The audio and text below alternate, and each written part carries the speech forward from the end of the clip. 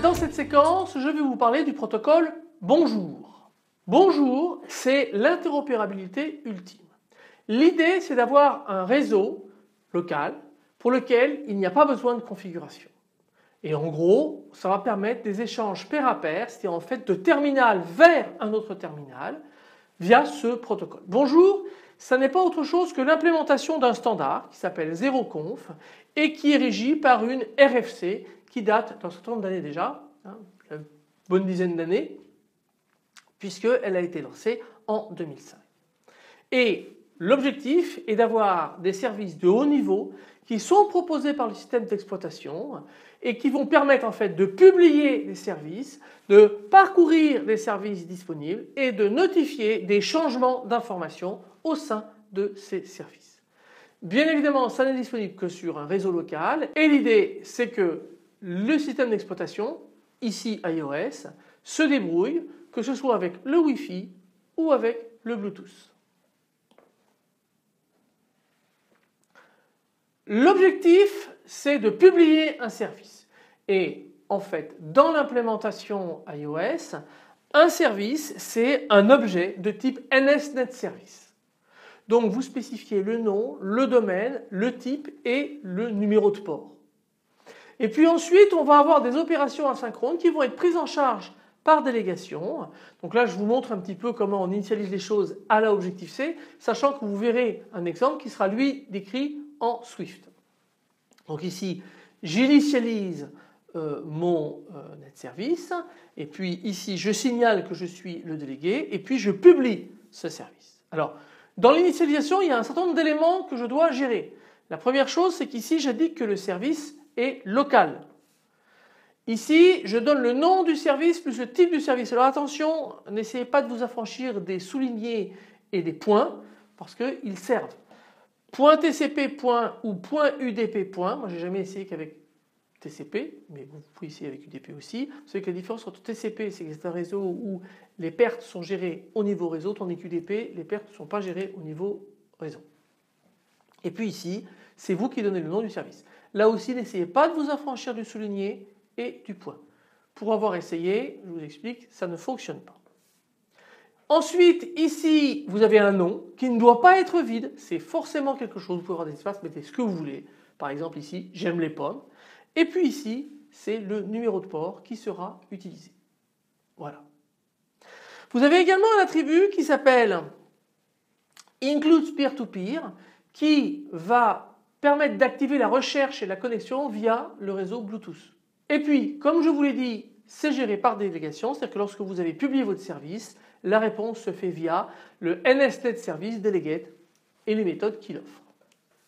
Les primitives fonctionne de la même manière en Swift et je crois avec le même nom mais encore une fois j'insiste nous verrons cela dans un exemple dans une séquence ultérieure.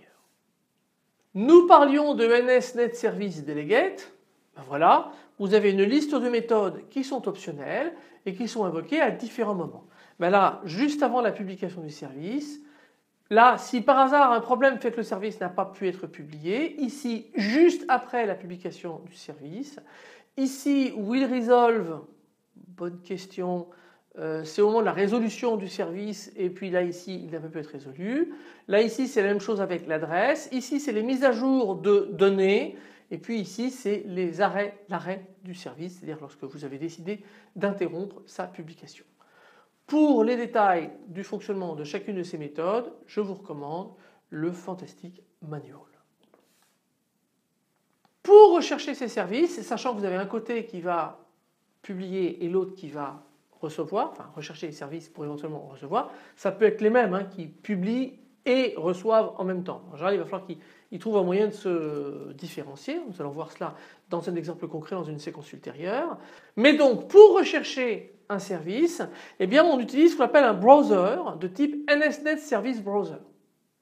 Et donc, l'idée, c'est de rechercher les services d'un type donné. Donc, vous créez le browser, vous lui positionnez un délégué. D'ailleurs en fait je vous rappelle qu'en Swift le NS disparaît donc ça c'est le nom en Objective-C mais sinon en Swift c'est Net Service Browser et pas NS Net Service Browser. C'est anecdotique vous avez l'habitude mais je le signale quand même. Et puis vous allez une fois que vous avez positionné le délégué eh bien vous pouvez faire un appel de Search for Service of Type of Domain ça c'est la version en Swift et les réponses se font via le NSNet Service Browser Delegate ou le Net Service Browser Delegate en Swift. Vous avez un certain nombre de méthodes. Il y a deux méthodes importantes qui sont appelées lorsqu'il a trouvé le service ou lorsque le service a été retiré, s'il a été interrompu de l'autre côté. Et puis vous avez ici toute une série d'autres méthodes je vous renvoie au Fantastic Manual pour en savoir plus. Là ici, il a trouvé le domaine. Là ici, le domaine a été supprimé. Là ici, il va lancer la recherche. Là ici, il ne recherche pas ou il a arrêté la recherche. C'est typiquement ici un cas euh, d'erreur. Pour en savoir plus, encore une fois, j'insiste toujours et toujours, Fantastic Manual. Chaque service permet de transmettre les informations sous forme d'un dictionnaire. Donc ça va permettre de stocker les informations complémentaires et ces informations peuvent être stockées par les pairs et vous le récupérez sous forme d'un TXT Record Dictionary. Alors voici un exemple de code où là je vais publier euh, de l'information. Donc en fait j'ai ici une chaîne avec un ensemble de valeurs que je transforme en données et ici je vais associer cette donnée à une clé qui s'appelle message. Puis ensuite, eh bien, je vais positionner ce dictionnaire qui a donc été ici encodé. Je vais donc la positionner sous forme d'un NSData et je vais mettre ce NSData dans mon TXT record data.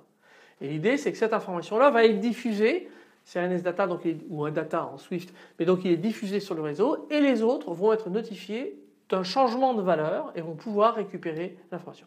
Alors bien évidemment il faut être clair, c'est-à-dire que vous encodez une information avec euh, un système clé-valeur et puis il faut que à la fois l'émetteur et le récipiendaire soient d'accord sur le couple clé-valeur. Parce que si l'un il cherche, enfin il émet l'information sous une clé Toto et l'autre cherche l'information sous la clé Titi, ça va pas marcher, ils vont pas réussir à se parler. Pour surveiller les changements, eh bien dans le define service, on va positionner le délégué, NSNet Service Delegate, et puis on va démarrer le monitoring et on a ici dans la délégation un did update txt record data qui va en fait nous notifier des changements. Et puis vous allez pouvoir ainsi récupérer les données sous forme d'un data et vous faites l'opération inverse pour récupérer l'information associée à ce dictionnaire. L'intérêt d'un dictionnaire c'est que vous n'associez pas qu'une information, vous pouvez avoir donc un système de couple clé-valeur avec plein d'informations qui sont intéressantes. L'arrêt de la surveillance euh, se fait typiquement lorsque vous avez la méthode de délégation d'IdRemove Service qui est appelée et vous faites un stop monitoring de l'information que vous surveillez ici. Pour récupérer les informations, ben, c'est l'inverse de ce que je viens de vous montrer tout à l'heure. Donc ici, je récupère euh, le TXT record data associé à mon aide service. Je le transforme en dictionnaire, sauf si on me dit ici que c'est nil, c'est-à-dire qu'il n'y en a pas. Et puis ici, je récupère l'information. Là, je suppose que je décode ce que j'ai encodé il y a quelques transparents, donc avec la clé ici message. C'est tout. Ça marche de façon extrêmement simple. En Swift, petit exercice, c'est assez facile, les primitives ont quasiment le même nom, je vous renvoie au Fantastic Manual.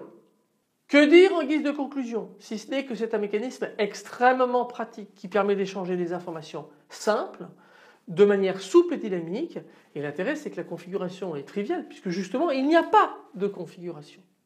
Donc c'est un must pour toute une série d'applications. Vous pouvez jouer, faire des échanges locaux et en fait non seulement ça marche sur iOS mais Android a sa propre implémentation de ZeroConf. Donc vous avez sur Android ça s'appelle si je m'abuse Network Service Discovery qui a été introduit dans Jelly Bean et donc par conséquent vous avez un moyen là de transcender le monde, euh, enfin les deux mondes Android et iOS et donc de les faire communiquer et échanger de l'information simple. Par exemple, il y a un certain nombre de choses qui sont faites, des applications où vous pouvez changer des cartes de visite comme ça, des cartes de visite électroniques qui passent d'un terminal à un autre, qui s'échangent de façon extrêmement euh, confortable sans avoir besoin de faire un couplage de terminal ou quoi que ce soit d'autre. Je vous remercie de votre attention. À bientôt.